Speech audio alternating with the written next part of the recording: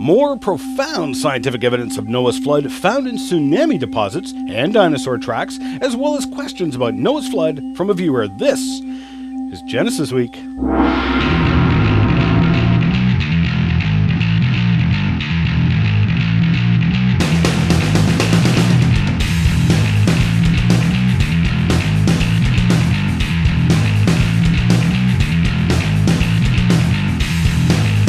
And a welcome to this episode of Genesis Week, the weekly program of creationary commentary on news, views, and events pertaining to the Origins controversy, made possible by the supporters of CORE Ottawa, Citizens for Origins Research and Education, and now carried on the Christianima Network, christianima.com, Christian cinema at its finest.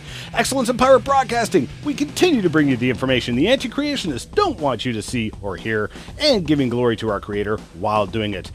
We believe God gave you an intelligently designed brain because He wants you to use it. Remember, if you get lost in cyberspace, you can just punch in wazooloo.com or genesisweek.com and you will find us. And also subscribe to our YouTube channel to get extras like Crevo rants and full interviews with our guests. I'm your host, In our Noah's Flood episode, we were discussing various geological formations that are alleged to have formed in a desert and therefore could not possibly have been formed during a worldwide flood. These formations were then discovered to have indeed been formed underwater. Another significant lesson was taken from the Japan tsunami of 2011, published in the Journal of Marine Geology. Though the area with the highest recorded tsunami waves of 20 meters was just west of Kesennuma Bay, the sand that these huge waves deposited on land was still only a mere 30 centimeters thick.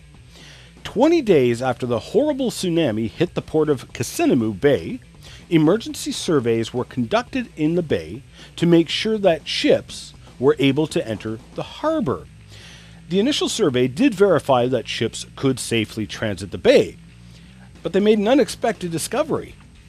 Large sand dunes had been formed by the tsunami in the seabed. The dunes were typically a few meters high, about 6 feet, 20 meters long, in water 10 to 15 meters deep. Now, we would refer to these underwater dunes as sand waves. Now, I have had old Earth geologists specifically argue that sand waves cannot form quickly nor in fast currents. Thus, they claimed that various sand waves found throughout the geologic record would exclude a watery catastrophe on the scale of a global flood. So here, we see multiple surprises. Not only did sand waves form fast and with a fast current, they formed in surprisingly deep water. So, sand wave formations can be made during a global flood. This has implications for the interpretation of numerous geological formations found throughout the world.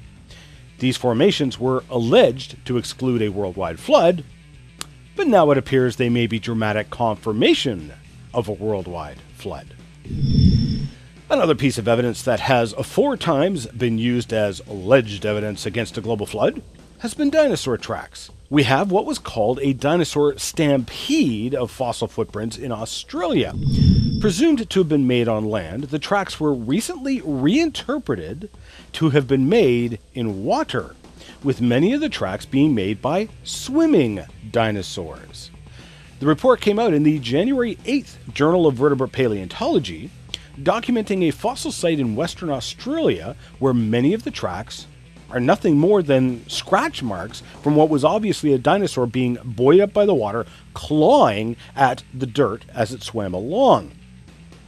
Now, this is certainly not the first instance of fossilized dinosaur tracks showing evidence of swimming.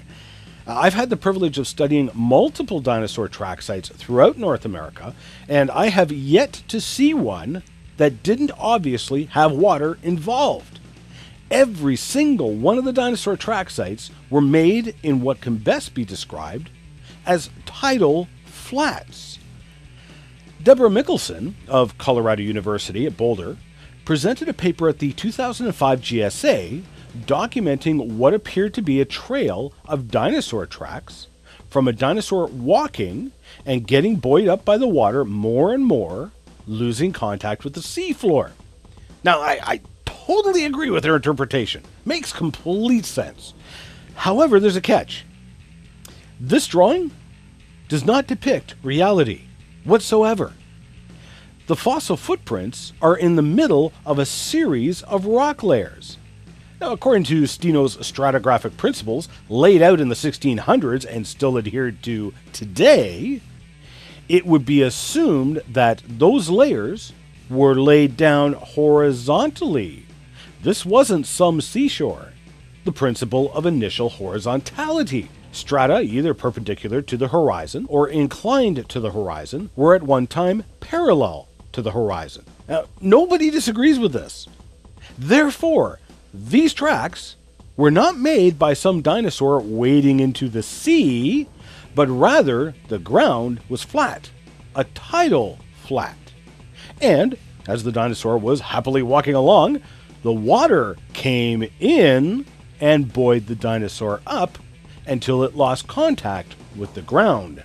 This is powerful evidence of a large, catastrophic flood, not some dinosaur visiting the sea, especially in light of the fact that other dinosaur tracks were found in that area that were not swimming. And layers containing dinosaur tracks are typically provincial to continental in size. For example, the late Cretaceous of Glen Rose, Texas, famous for its innumerable dinosaur tracks, and yes, human footprints among those dinosaur tracks, that layer is acknowledged by the evolutionary community as a tidal flat. Except that that tidal flat covered a huge portion of North America. Now, that layer has countless clam burrows from clams that were obviously buried alive catastrophically by the limey mud. Dinosaurs and people walked in that mud. More layers were laid down on top of that. Then the clams attempted to burrow their way out through those layers. The clams are found by the millions to billions buried alive in the close position just a few layers above the dinosaur tracks. Now tell me, was that accomplished over millions of years? Or a giant watery catastrophe real quick like? Now, this was no calm sea. This was a huge watery catastrophe. The evidence is best explained, and I would dare say only explained, by a worldwide flood. That flood was gaining more and more upon the land with each tidal wave. The evidence is best explained by the history recorded in the Bible, which talks about a worldwide flood that was judgment upon mankind from God. Now, Jesus warned us about another judgment to come at the end of the age. The people who did not listen to Noah's warning of the judgment to come perished. Will you listen to the warning from God about another judgment to come? Where will you be at the great white throne judgment? With Vancouver Mayor Gregor Robertson signing a proclamation to declare February 12th as International Darwin Day. I thought I'd briefly mention the Question Evolution Project, also set aside on the same day for similar reasons. Cowboy Bob Sorensen put together the project in proper spirit of scientific inquiry.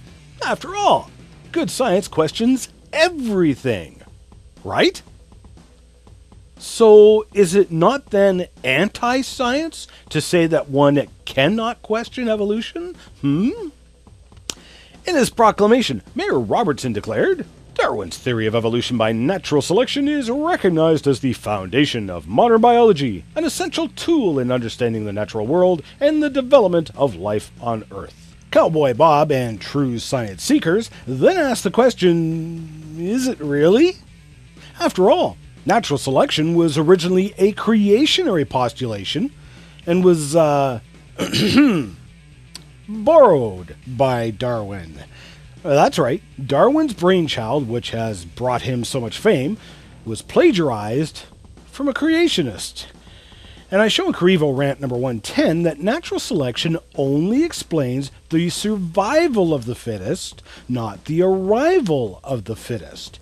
And natural selection turns evolutionary theory upside down, where the lowly bacteria outpopulate and outsurvive the more complex life forms. It's the opposite of upwards onwards evolution. Secondly, as can be seen in Crevo Rant number 93, evolution must violate well established biological laws, like the laws of biogenesis. So, how then can evolution be the foundation for understanding biology if evolution must violate biological laws and observations? Mayor Robertson also declared that Darwin's theory of evolution by natural selection has provided and continues to provide the basis for great advances in science, medicine, and philosophy. Really? What advances, Mr. Robertson? Name one.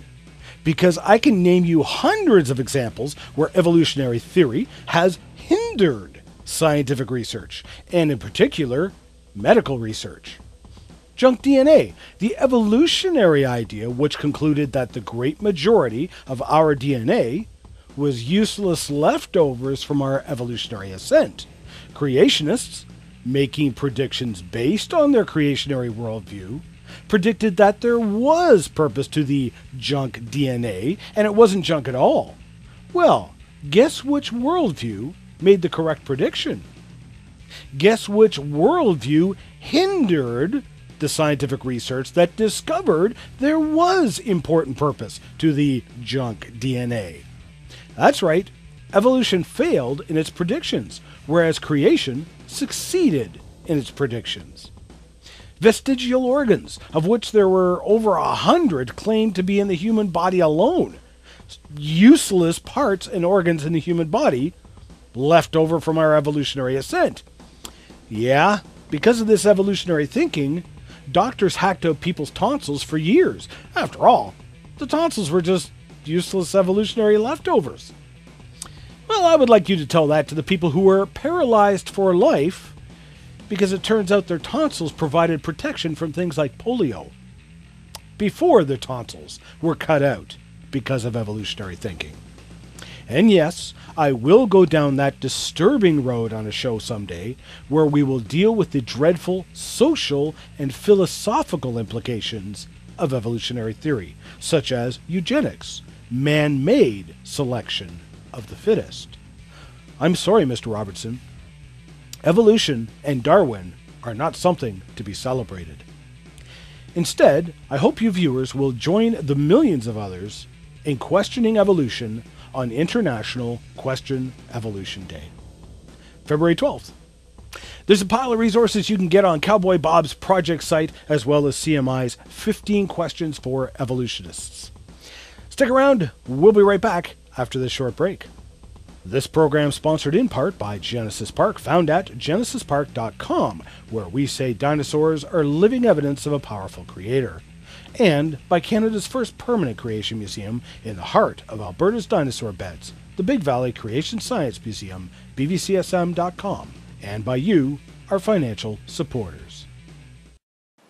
Funny, fast, and furious. Ian's Crevo rants cover a multitude of topics in an easy to understand comical way. Complicated subjects that normally make your brain hurt hurt a lot less when Ian explains them, while wearing his anti government mind reading equipment. Have questions about carbon 14 dating, natural selection, thermodynamics, or what on earth is he doing there? Three volumes of rants on DVD. Take your pick for $15 each plus shipping and handling, or order all three as a package and save yourself 10 bucks. Order online today at Ian's Bookstore.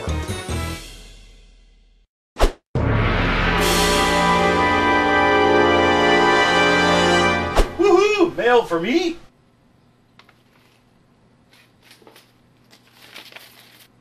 Hmm.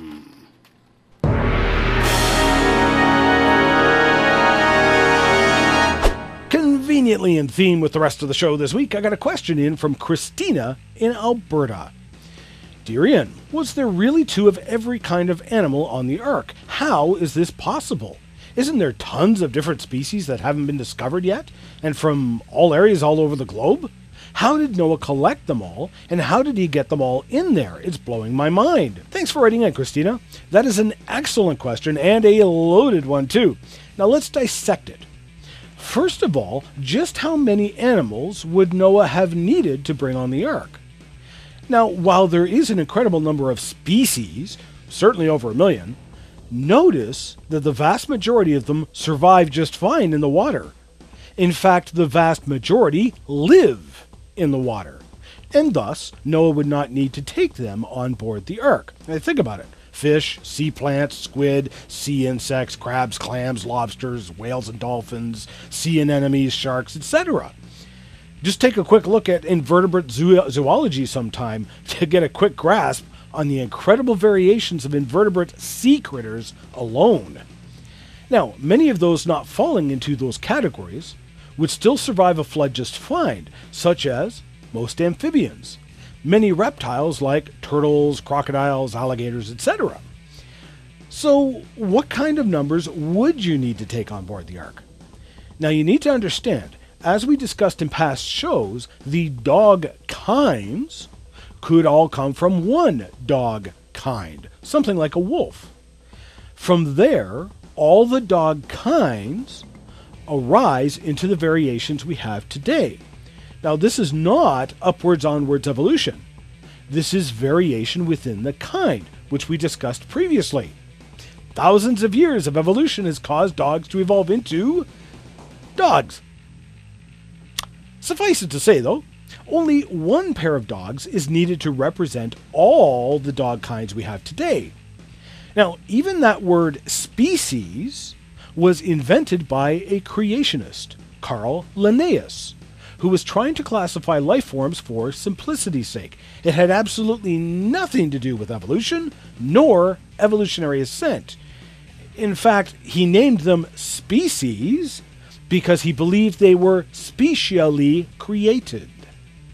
My friend Tom Hennigan just recently published a paper uh, dealing with the problem of identifying species and kinds uh, strictly relating to amphibians. Thankfully, the paper is open source and available here. That'll give you an idea of the challenges facing definition of both species and kinds. Now, Morris and Whitcomb, in their landmark book, The Genesis Flood, figured Noah needed to take no more than 35,000 animals on board the ark.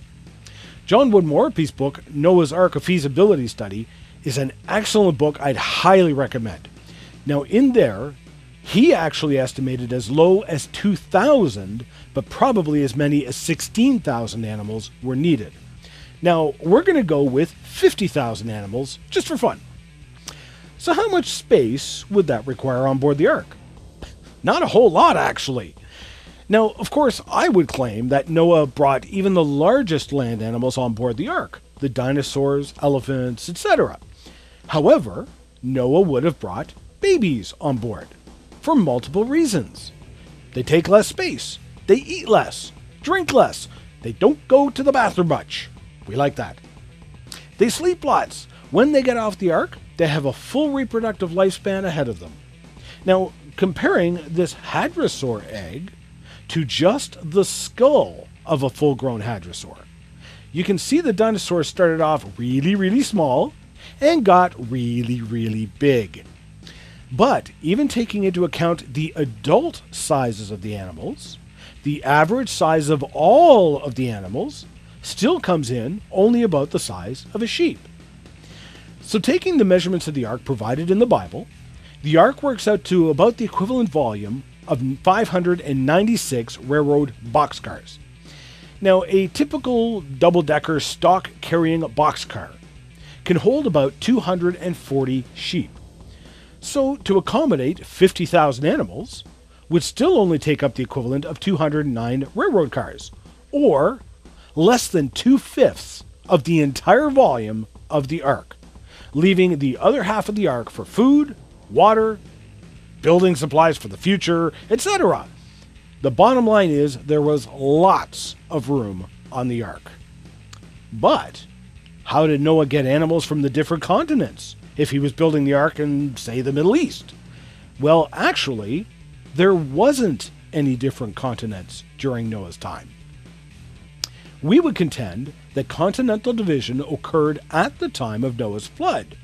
In fact, this whole concept of continental division actually came from the Bible. Pellegrini was reading Genesis where it said God separated the waters into one place and the land appeared. He deduced from this passage that it must also mean the land was in one place. He then started experimenting with how the continents could perhaps fit together. Later on, his continental division theory was hijacked by those who believe in deep time, labeled it plate tectonics, and claimed it took millions of years.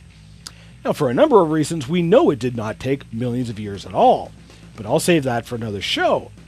For the moment, you can see how a biblical idea is twisted around to allegedly refute the Bible when it does no such thing. The idea came from the Bible. The Bible also implies that God brought the animals to Noah.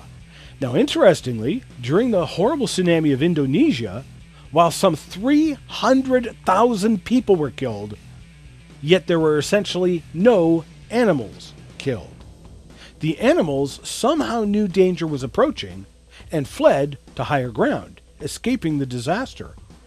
So, why wouldn't the animals know that a worldwide flood was coming?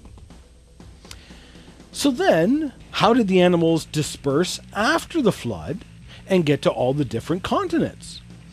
Well, it's ironic that the anti creationists attempt to use this as an argument against Noah's flood.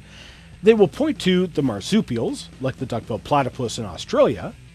They will claim that the platypus evolved there, and that's why they're only found in Australia. However, when a platypus fossil is found in Argentina, a completely different continent, guess what they say? Oh, they must have migrated there when there was land bridges. Now, we creationists readily accept that there was land bridges after the flood, probably for hundreds of years. There are thousands of mountains under the oceans called table mounts. Now, these are mountains that have been planed off flat by water action. Yet these planed surfaces are 1 to 2,000 meters, 3 to 6,000 feet below sea level. So, for a time at least, the ocean levels were thousands of meters lower than they are now. Now, if you lower the oceans by a mere 100 meters, 300 feet, you have land bridges connecting almost every continent. That's right, you could walk from China to Australia to South America, North America, and if you or a herd of animals walk a mere one mile per day for 10 years, you have walked 3,650 miles. You can walk from Mexico to Alaska, or from Canada to China. So, as you can see, getting the animals to and from the ark is a non issue. In fact, any anti creationist who tries to argue otherwise inadvertently shoots themselves in the foot because they must apply the very same reasoning to their beliefs that we do, except they claim the land bridges were around for millions of years, not hundreds. So, why didn't the marsupials migrate to other parts of the planet? They certainly had enough time. I hope that answers your questions, Christina. YouTuber Orge121 wrote in regarding the Noah's Flood episode. If I remember correctly, I asked why no creationist had ever modeled the flood of Noah. I consider that a quality inquiry. I consider that a quality inquiry as well. Uh, there has actually been a number of flood models put together and intensely scrutinized. Uh, I was privileged, uh, a privileged participant in what was called the Flood Science Review, which was a written debate over Noah's flood and the pre-flood world. The debate took over a year and a half with Hollywood producer Joe Bardwell funding the debate. The results were published in an ebook that is a must read for anyone even remotely interested in the subject of geology and Noah's flood. Don't let the 1700 pages intimidate you. Because of the way it is laid out, it's quite easy to follow. You can download a copy of that book for a donation of any amount at In Jesus Name's Productions website, ijnp.org. If I may suggest, please be generous in your donation, as Joe put a pile of his own personal money into funding that project, which was a monumental project of great benefit to the creation community. With regards to my commentary last week on the population problem, YouTuber eQuestions wrote in. I love this argument, you're spot on. It is a huge problem for deep time and one very seldom talked about. Let me bring up the fact that Wazooloo was very gracious to the Evos in this vid. He only spoke about Homo sapiens and only went back 200,000 years with his 0% growth rate. If we really wanted to be fair, we should have gone back to Homo habilis, which means a growth rate of 0% for 2 million years. The human population should be extinct many times over with those population numbers. Ted from Pittsburgh also wrote in with similar concepts. I have always been interested in the population problem, and I think Genetic Entropy by Sanford was awesome. I've been wondering for some time whether a truly human population could exist for 190,000 years on this earth without agriculture, without good hunting weapons, bow and arrows, without warm and or protective clothing and protection of the skin and eyes from the sun, without medical assistance for wounds, without midwives, and without a population community of at least a thousand. Also, the first humans were said to be two million years ago, so their existence at near extinction levels seems even more impossible. I don't see how the first human pair that evolved from a line of apes could have stayed alive with no human companions. I understand that Neanderthals go back 200,000 years ago, but huge numbers of caveman humans lived in the 2 million or 1 million period before the alleged Neanderthals appeared. Indeed, I left those out for simplicity and to stay focused on my main points. The Bible just plain fits the actual data and evidence. The skeptics must call upon a lack of data, an absence of data, and wishful thinking. However, in the end, I must also admit that I am also arguing from an absence of evidence. Just like all those bodies from the alleged millions of years are missing, so also the body of Christ is missing. If he had not risen from the dead to prove he was God, someone, somewhere, would have produced his body. None of the apostles would have willingly died for their faith if they hadn't seen Jesus rise from the dead. Christ led the way through death into new life so we could know he, he was who he said he was.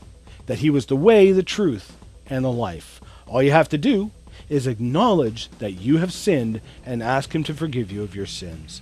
And he promised that he is just and faithful to forgive you and give you a new life. Why don't you ask him today to forgive you and give you a new life? I gotta call that a wrap. Thank you so much for watching, and I hope you'll join me again next Genesis Week. I'm your host, Ian Juby, signing off for now. Remember, you can send in your comments to comments at genesisweek.com or send us a tweet at genesisweek or go to genesisweek.com, which is our YouTube channel. Find the most recent show and leave a comment there. Remember those words from our Creator, the Lord Jesus Christ, who said, I am the way, the truth, and the life. No man comes to the Father but through me. We'll see you next week. We need your support to help keep this program on the air. You can help by making a tax deductible donation to Core Ottawa, Canada North Post Office Box 72075, Ottawa, Ontario, K2K2P4.